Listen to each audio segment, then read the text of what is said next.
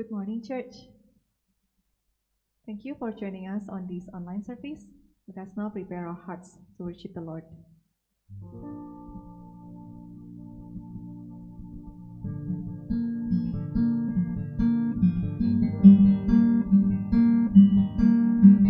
Reading from Hebrews chapter 10, verses 11 to 14. Day after day, every priest and performs his religious duties. Again and again he offers the same sacrifices, which can never take away sins. But when this priest had offered for all time one sacrifice for sins, he sat down at the right hand of God. And since that time, he waits for his enemies to be made his footstool. For by one sacrifice he has made perfect forever those who are being made holy.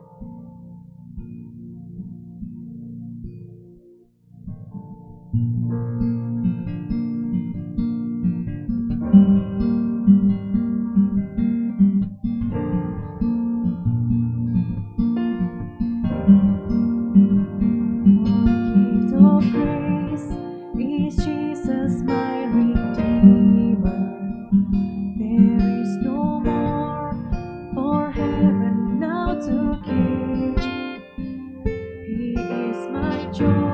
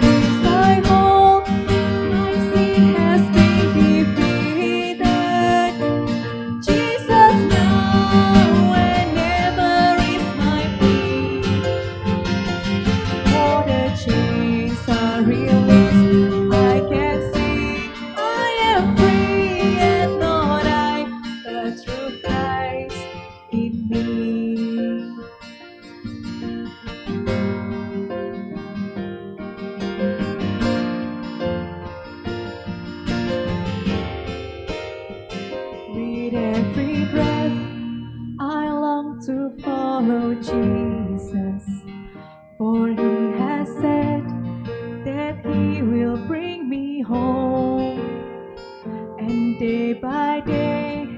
I know He will renew.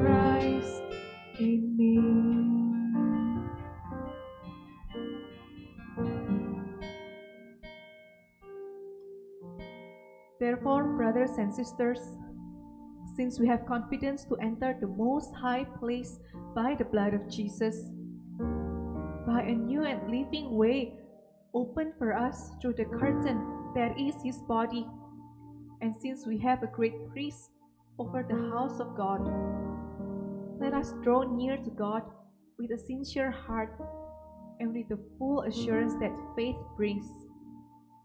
Having our hearts sprinkled to cleanse us from a guilty conscience, and having our bodies washed with pure water, let us hold unswervingly to the hope we profess, for he who promised is faithful.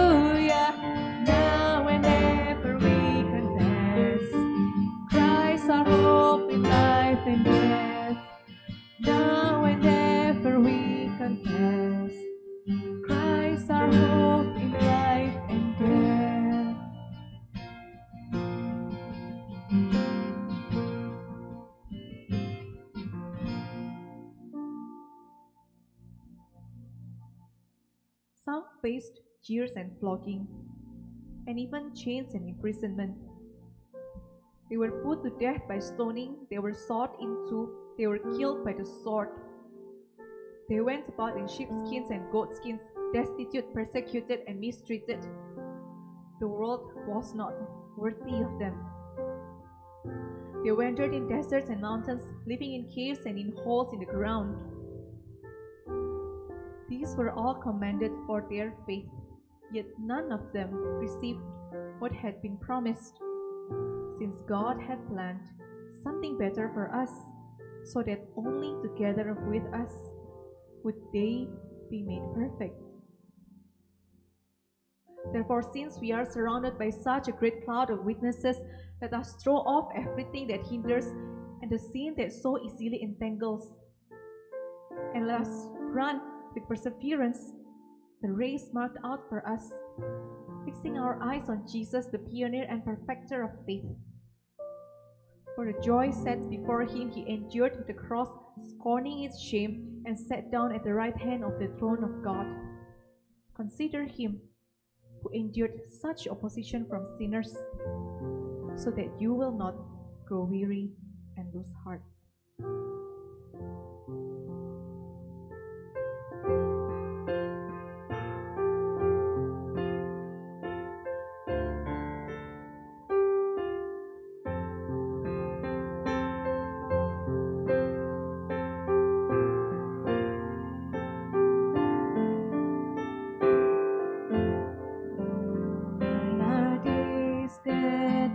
God has numbered.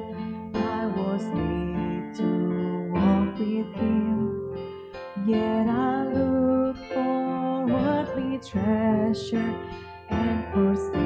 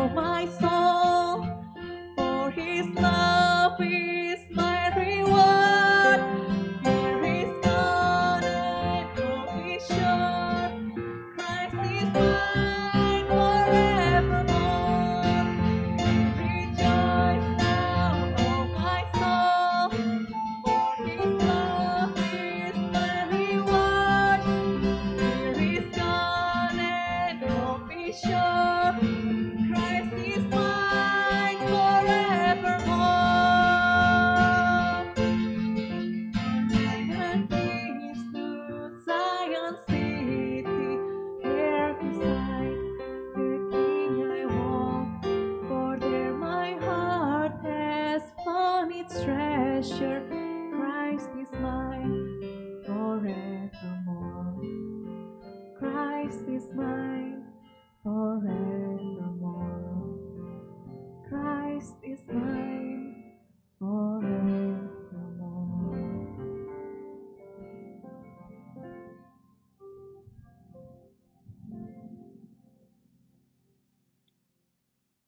Now let us go into a time of intercessory prayer.